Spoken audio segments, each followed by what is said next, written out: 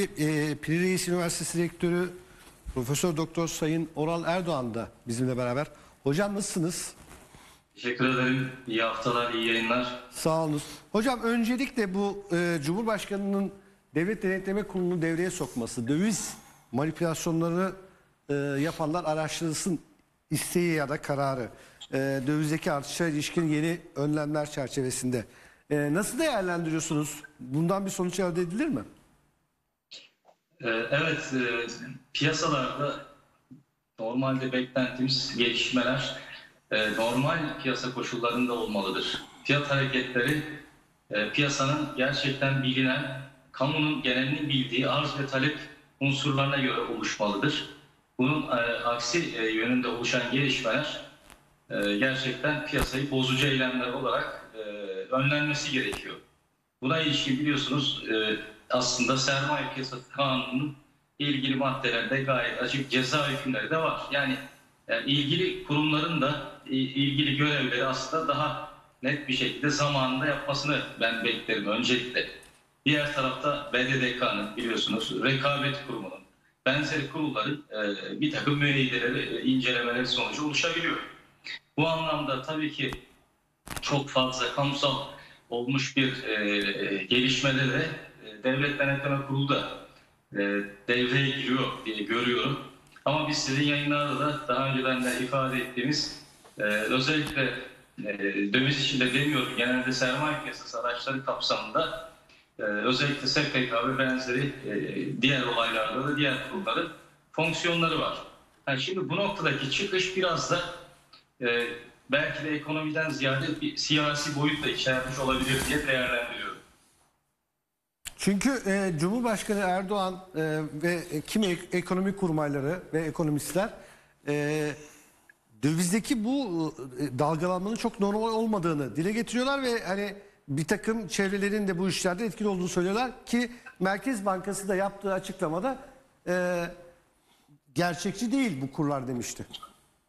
E, tabii şöyle e, bir ekonomide başta faiz enflasyon kur kavramları diye görüyoruz ama genel olarak baktığınızda mal ve hizmetin fiyatında anormal hareket olacak ise piyasa katılımcıları bundan çıkar sağlamak isterler. Evet. Buradaki iyi niyetle ben bir malın fiyatında yukarı gidecek ya da bir kağıdın fiyatında yukarı gidecek imajına, beklentisine kapılırsam, alım yaparsam burada e, bu ister hatalı bekleyeyim, e, ister e, bilinçsizce bekleyeyim ama ben böyle bir beklentiye girmiş isem bu bir suç unsuru olamaz diye değerlendiriyorum. Bu noktada ikinci konu devreye girer. Beni birileri yanlış bir, bir e, fiyat hareketi olacakmış gibi e, aldatabilir mi? Bu da e, manipülasyonun işte bilgi bazlı tarafı diye değerlendirilir. Sanırım şu anki e, Sayın Cumhurbaşkanı gündeme getirecek konu ikinciyle ilgili olabilir gibi geliyor bana. Yani birinciye göre nasıl diyeceksiniz? Yani e, e, birileri bir araya gelmişler anlaşmalı olarak İngilizler, Fransızlar, bazı aracı kurumlar vesaire neyse öylesine isim sayıyorum yani herhangi bir anlaşma biliyorum. değil. Birileri bir araya gelmiş de ortak hareket ediyor ve işlem bazlı manipülasyon yapıyor. Bunu e, ben kanıtlanabileceğini çok zor diye düşünüyorum bu kadar yıllık tecrübeme dayanarak.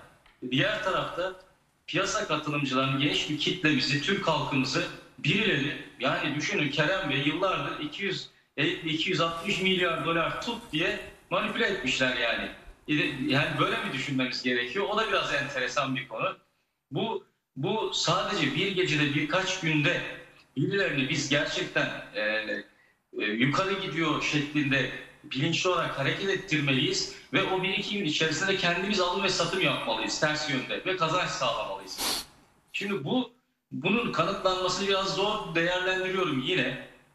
E, özellikle de e, bunu yapacak olanlar e, gerçekten tecrübelidir. Yani yaparlar ve öyle kolayca da e, kanıtlı değilli bir şey de bırakmazlar. Yani küresel anlamda inanın bana e, teknoloji çok çok ilerledi. 1994'e geri dönüyorum. Tahtalı borsa vardı. Siz bilirsiniz o dönemleri. Evet. Tahtalı borsa, ayaklı borsa. Tek tek tahtalardaydı hisse senetleri. O tahtaya sıraya girerdi brokerlar. e, üye temsilcileri. O sırada bekle bekle bekle sana sıra gelince müşteriler adına alım satım yapacaksın.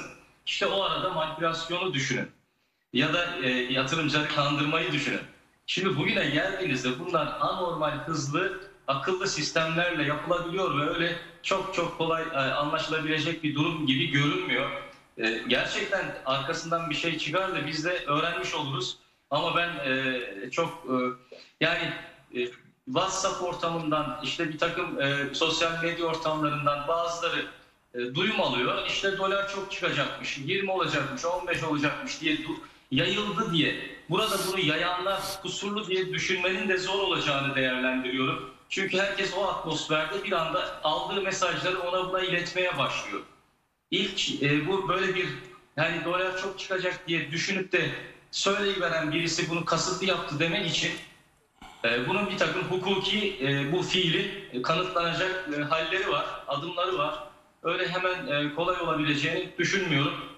Ama ben şuraya nokta koyacağım. Sizin yayında çok net söyledik.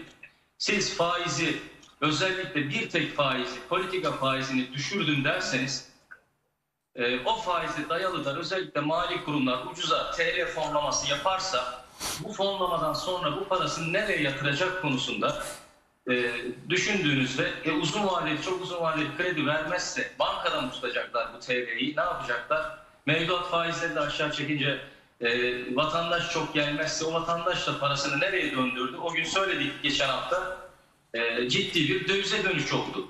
Yani ben e, kimin sebep olduğunu anlarken biraz daha makro düşünülmesi gerektiğini değerlendiriyorum. Bu da önemli. Ee, Sayın Hocam, e, herkes bu asgari ücret meselesini de bekliyor. 1 Aralık'ta Asgari Ücret Tespit Komisyonu toplantılarına başlıyor. İlk toplantısı 1 Aralık'ta yapacak. Asgari ücret konusunda da hem Cumhurbaşkanı'nın verdiği mesajlar hem e, muhalefet partilerinin hem sendikaların hani böyle biraz beklenenin de üzerinde bir artış e, yapılacağı yönünde böyle bir kanaat oluşmuş gibi görünüyor. Siz nasıl bir asgari ücret bekliyorsunuz? Birincisi bu. ikincisi asgari ücretteki e, beklenen üzerindeki bir artış enflasyonu nasıl etkiler, etkiler mi? Neler söylersiniz? Enflasyonu e, kesinlikle etkiler. Öncelikle sondan başlayalım. E, siz e, doğal olarak asgari ücreti yüzde 30, 35, 40 vesaire bir oranda arttırdığınız takdirde oraya gidecek olan e, para bir kere birikmiş borçları ödemek kadar e, ödenemeyen tüketime yönelik hareketi de ya da yapılmamış tüketime yönelik hareketi de e, getirecektir. Çok gecikmiş tüketim de var diye değerlendiriyorum. E, Bunların e, ödenmesi e, talebiyle birlikte bir tarafta da küresel e, anlamda çok ciddi bir e, yeni durum var. Enflasyon e, hani geçici olacaktı e, yaklaşımlarında kırılma var. Yani yüksek seyreden enflasyonun e, bu değişen varyant ve sıkıntılı varyant nedenleriyle biraz daha sürme tehlikesi durumu var. Öte yandan Türkiye'de çok bariz bir durum var.